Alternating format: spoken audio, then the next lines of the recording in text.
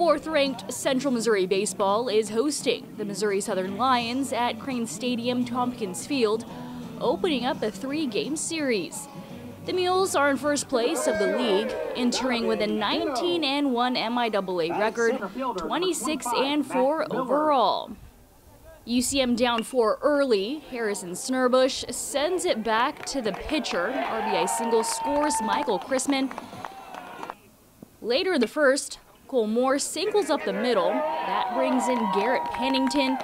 Mules within one at the end of one. Next inning, Brennen van Breusegen singles to short. Isaiah Pani scores. Chrisman hustles home on the error. UCM takes the lead 5 to 3. John Prudhom follows with a two-run shot to right. That's his 11th of the season. Mules up 7 to 4 after two complete. Central Missouri keeps it rolling in the third. Chrisman singles through the right side, plates Carter Young. Then van Breusegen singles up the middle. Chrisman tacks on another run.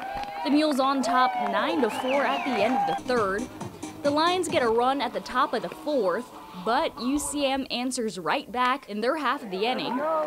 Moore with a liner to left, that scores Snurbush.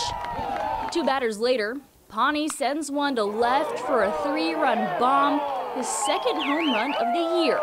The Mules lead at 13 to 5. And in the fifth, van Breusegen connects for a solo shot to right. He went a career best 5 for 5 with his sixth home run of the season, 4 RBI and 4 runs scored. Sixth inning, UCM up 8. Pani triples to left center. That scores Young. Mules go back-to-back triples with Chrisman to left center off the wall. Brings in Pani.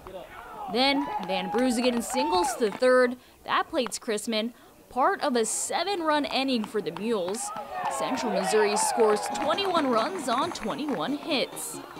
Pitcher Collin Jones improved to an MIAA best 7-0 on the mound after throwing five innings and allowing five earned runs on six hits with zero walks and seven strikeouts. The Mules run ruled the Lions in the series opener 21-6 in seven innings.